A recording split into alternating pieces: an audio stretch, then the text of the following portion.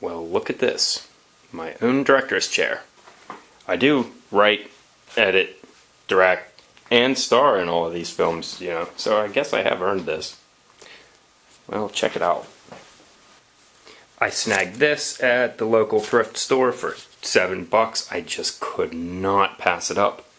I'm thinking this is probably cotton, so I give it a nice wash, and it should be like new. And this is in desperate need of sanding. And some oil, it's very thirsty. But a little bit of cleaning, and this should be something worth showing. So I will give you a quick look at it up close. And then I'm going to snap my fingers and it's magically going to transform into something hopefully worth looking at.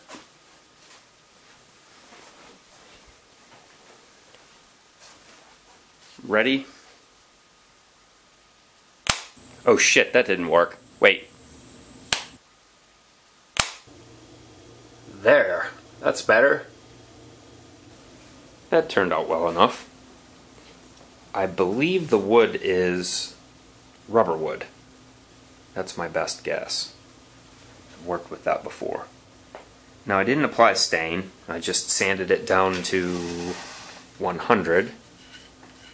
Made it nice on the touch.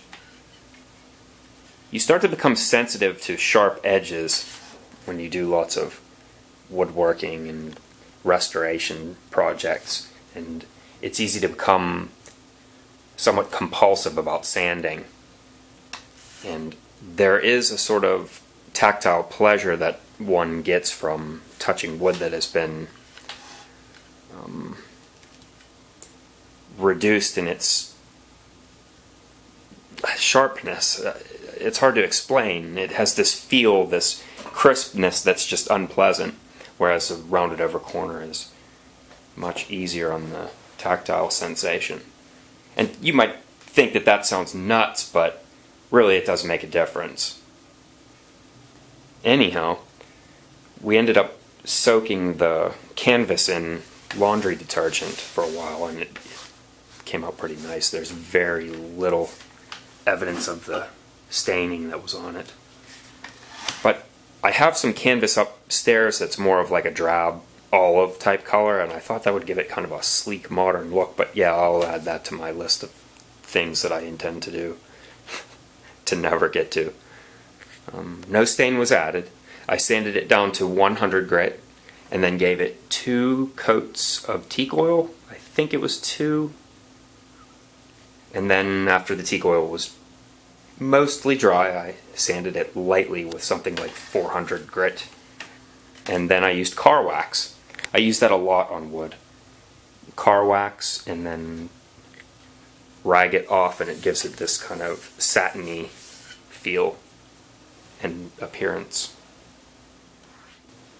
I also considered, as I've mentioned, I considered changing the canvas, so I thought it would be great to put an iron-on fabric of my logo there, but I thought that was a bit self-indulgent. I don't know why. It just kind of bothered me. I'm not even sure what I'm supposed to do with this. It was an impulse buy. Rather, we should call that an impulse project, where amidst your various other projects that you have in your life, that you don't have time for an additional project, you see something like this and you think, oh, I can restore that in 10 minutes. And it turns out to waste even more of your time. But such is the nature of life and time management. Speaking of which, go do something productive. See you later.